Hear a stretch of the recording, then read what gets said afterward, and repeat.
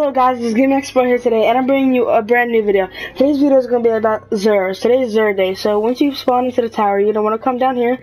He's down there next to the, uh, next to the exotic gun kiosks, so he's going to be down here to the right. Okay, so see what he has for sale today. Okay, so first off, we have MK44 Stand Aside. That is for our Titans. It has Be Somewhere Else, increases the duration of soldier char shoulder charge, and tighter turn radius while sprinting.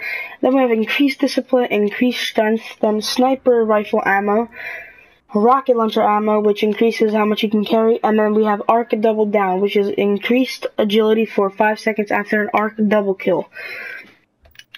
Next, he has the Hunter Gauntlets sealed Ahamkara Grasps. First, you get you get an additional melee charge, and melee damage has a chance to automatically reload your primary weapon. Increased discipline, increased strength. Then we have Switchblade, which decreases melee attack cooldown time, and we have Impact Induction, which is bonus grenade ener energy on melee hits. Then we have Sidearm Loader, which is increases the reload speed of sidearms, and then the Rocket Launcher Loader. Moving on, we have the Ram, which is a Warlock helmet, and then it has increased armor, all Voidwalker melees, trigger life steal on hit.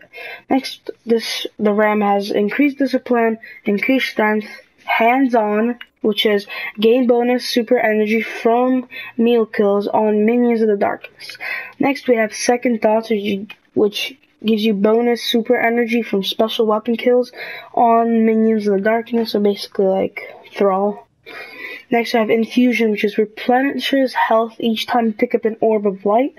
That's really good because you know when you're in PvP and you use your supercharge and then you run out of health, and then the orbs that are right below you can just pick them up.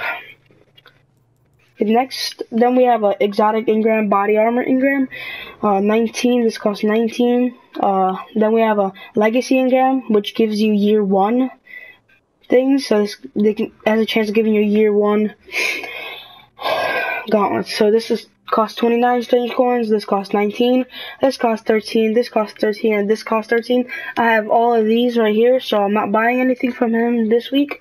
Then we have the three of coins, which increases the chances of getting an exotic engram for a drop. Then we have glass needles, which changes the perks on these on armor. Then we have Heavy Ammo, Stealth Drive, and Void Drive. Yeah, well, thank you for watching, guys. I hope you guys found this helpful. Don't forget to leave a like, subscribe. Peace out. Turn up the speakers.